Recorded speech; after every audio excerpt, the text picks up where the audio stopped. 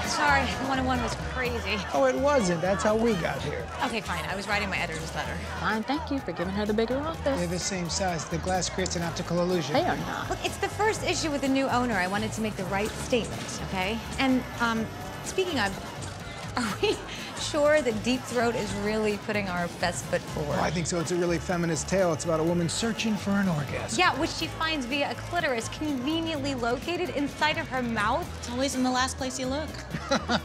This is our big launch, Joycey. Just smile and make us look good. Have a little fun. This is a big win for us. Yeah.